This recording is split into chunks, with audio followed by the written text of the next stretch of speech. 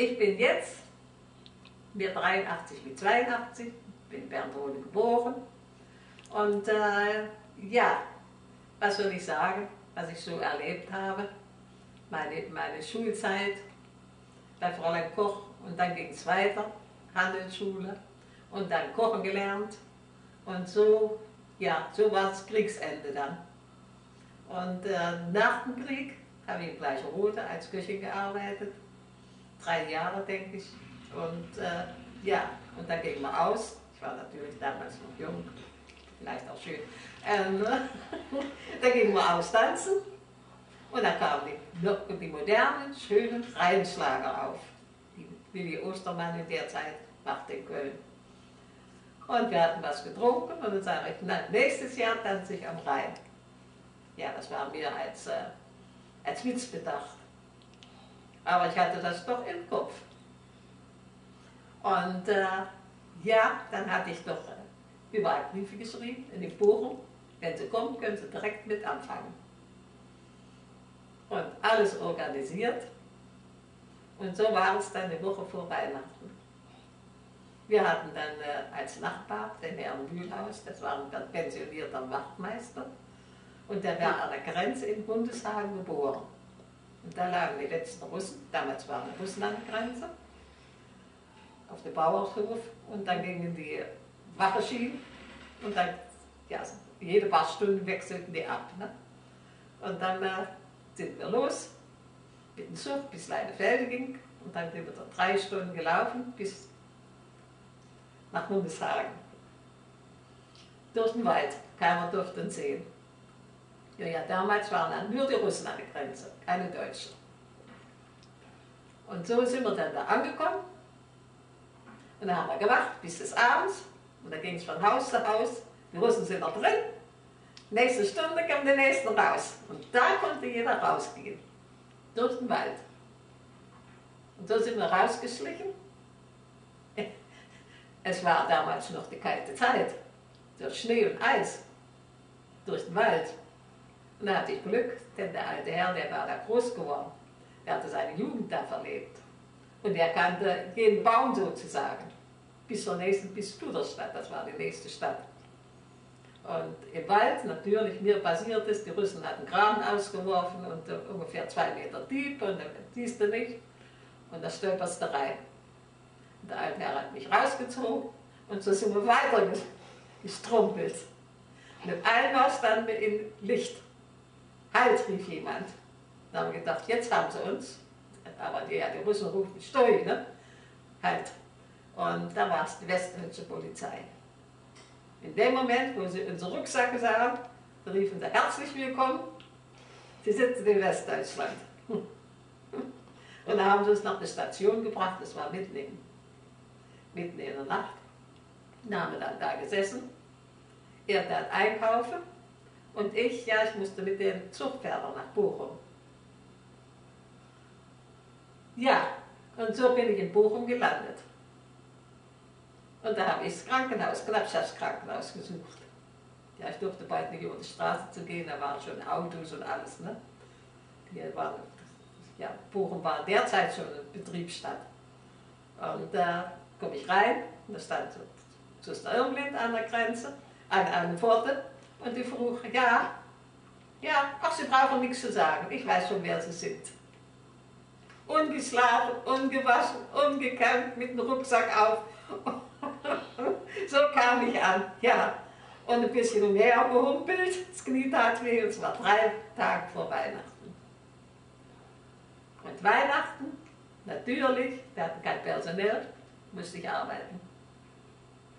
Naja, ich war gespannt, ich wollte nicht in der Küche, ich wollte bei Patienten, es ging mir um den Kontakt mit Menschen, man lernt die Menschen kennen. Und äh, das war dann zufällig die Krebsstation und die lag noch draußen im Park. Bei Schuster Brigitte. Und kein, ja, Weihnachten arbeiten. Aber das war in, in, bei den Nunnen ganz festlich. Ja, wir mussten noch arbeiten, bis morgens um 6 Uhr raus, dann hatten wir eine halbe Stunde schon gebetet und da begannen wir. Naja, wir waren jung, wir hatten gute Laune, wir gingen singend an Arbeit. Ne? Und abends auch haben wir abgearbeitet und dann ging es wieder beten mit den Nullen. Und dann ins Bett und lagen mit sechs, sechs Mädchen auf ein Zimmer. Jeder hat einen Stuhl und jeder hat einen Schrank. Wie viel verdienten Sie im Monat? Im Monat kriegten wir 30 Mark. Denn wir hatten auch Kost und Einwohnung. Ne? Ja, ähm, es gefiel mir eigentlich. Aber ich war noch nie am Rhein, ich war da im Ruhrgebiet. Im Ruhrgebiet, ja, das, das ist lang kein Rhein. Und so haben wir getan. Ich hatte in der Zwischenzeit eine Freundin, in die Zeitung geguckt und da stand Bad Godesberg drin, im Hotel. Und mit Ach und Kraft sind wir da weg. Und sonntags morgens standen wir in Godesberg vor dem Hotel. Aber was wir da sahen, das befiel uns nicht. Das war alles noch ganz primitiv und wenn es morgens kommt, des Abends, die Küche, nee. Und dann sagte der eine, der war an der Rheinboulevard, der sagte, ach gehen Sie morgen früh nach Bonn, aufs Arbeitsamt, da kriegen Sie bestimmt Arbeit. Und so haben wir wieder eine Nacht auf der Station gesessen und am anderen Morgen mit, mit der Straßenbahn, wie ich das alles getan habe, weiß ich heute nicht mehr. Nach Bonn, ja, ja, ja. Und dann kriegte ich eine Stelle bei Baurat Müller als Kindermädchen, bei drei Kindern. Und so, ja, so bin ich da angefangen. Ich kriegte dann 65, dus ich war schon ein bisschen mehr, 65 Mark. Und ich hatte ein Zimmer mit Balkon am Rhein. Ich konnte da reinfahren sehen morgens und fröhlich in der Passagierboote, die kamen, ne? die lichten da an, da unter. Und dann sagen sie auf Wiedersehen, wenn sie von, von, von der Boot abkamen. Ne? Dus ich fühlte mich der König zu reich. Und dann ging man austanzen. Wie es ist, lernt mich jemand kennen. Und der arbeitet, der war Krankenpfleger, der arbeitet oben in den Kliniken. Denn Bonn ist Universitätsstadt und die haben sieben Kliniken, alles was sie denkt. Und da war eine Zentralküche. Und da ging ich wieder rein, ich bewarb mich und dann musste ich schon, die schon ein Dreikostköchin. Ja, und dann hatte ich wieder, ich kam so langsam an 100 Mark. Und ich arbeite per Tag nur 10 Stunden und äh, jedes Wochenende frei. Dus ich fühlte mich schon der König der Reich. Und ich tanzte in Bonn mit dem Karneval. Auch fröhlich, ja. Und Karnevalsschluss haben wir aus Köln. Da gingen wir nach Köln. Ja. So weit war ich. Naja, wie es war, ich war dann drei Jahre in Bonn. Dann lernen wir Holländer kennen. Holländer, Belgier, Engländer, die kamen alle am Karneval 4, 5. Und so ging es, ja, wie es in der Zeit war. Dus kam mein Führerhorner raus nach Holland, eben nach Holland op Urlaub, ja. Ja, und so hat sich das alles so ergeben. So bin ich in Holland bleiben hängen. Mein Mann hatte da eine, eine gute Familie, voll auf, aufgenommen. Im Beginn war jeder noch deutschfeindlich, aber ich habe keine Last von gehabt. Denn da kamen die Deutschen, ja, die, die Reichen mit den, mit den Büssen und da stand dann in der Zeitung, der hat so mit Steinen geworfen und so. Aber ich bin überall freundlich empfangen. Und heute bin ich so weit, dass ich, glaube 55 Jahre in Holland wohne. Ich bin in Holland alt geworden.